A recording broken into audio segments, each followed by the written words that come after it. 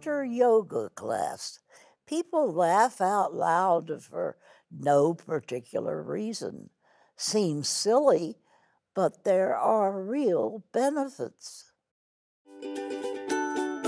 Alexa, please describe laughter yoga and tell us how it compares to a traditional yoga practice.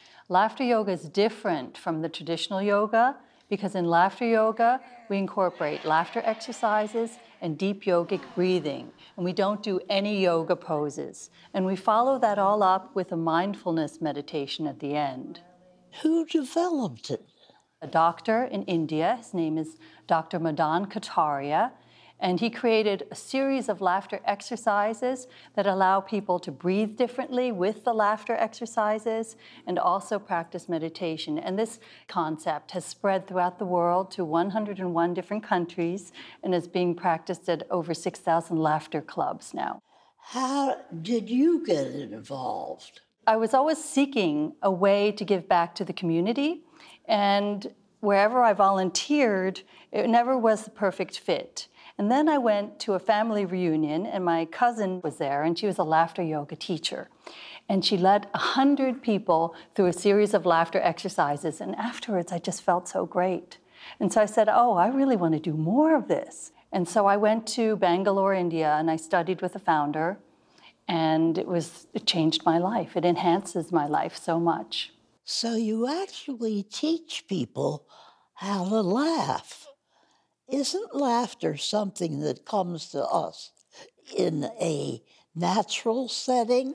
Well, actually, I don't really teach people to laugh. I lead people to rediscover the laugh that they've always had or that they are suppressing. Because children, when they're little, you've seen little kids laugh. they laugh so freely. And then when we get older, as adults, we suppress our laughter and we're told to be serious at school. And then we have all these pressures on us at work, and people are suppressing their laughter. And so I help people rediscover their laugh. Walk me through what occurs in a typical session. Well, usually we start out with a little bit of the history and the benefits of laughter yoga for those people who are new to the group. And then I progress quickly into actually doing the practical exercises. And we get people clapping, we get people stretching, we get people deep breathing, doing the laughter exercises. And at the end, there's a yoga nidra restorative meditation. This seems like a practice I could do at home. Is there any advantage to doing it in a group setting?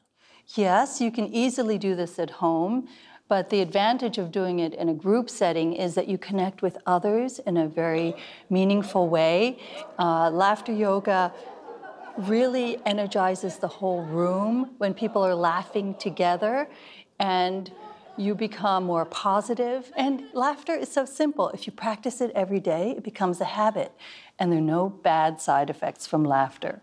I was delighted to be able to join Alexa for a class to experience it firsthand.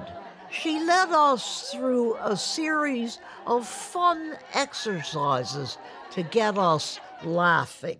And we're going to clear out the clutter of our brain by pulling the mental floss. It didn't take long to get in the swing of things. All right, let's send each other some laughter kisses.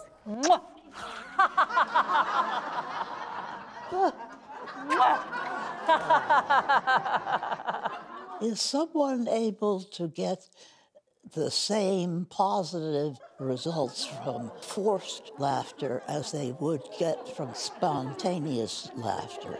Yes, absolutely. Your body cannot tell the difference between fake and real laughter, and you still get the same benefits. Initially, people who come to, to laugh with me, if they don't even feel like laughing, if you force the laughter, it turns into contagious, genuine laughter. So we have this saying we say, fake it until you make it. So if you're self conscious about the laughter in the beginning, afterwards you forget all about it because you're suddenly feeling so good. Have your laughter friends found that laughing socially comes easier to them now? Yes, I think so. The more people come to the Laughter Club, the easier it is for them to open up and laugh more in their personal lives. And people can notice a difference. They feel more confident, they feel happier all around, more positive minded. Is this your dream job? Yes. This is my dream job. Yeah. I love what I do. I love being able to reach out to all kinds of people and make a connection. It's taught me so much. And to be able to hear how it affects people in a positive way, I'm learning from that constantly. And that inspires me to do more with it. And my ultimate goal is just to train more people to go out there as laughter leaders and spread the laughter wherever they go. For more, check out the website below. When we come back, why settle for a humdrum hat when you could be wearing a work of art?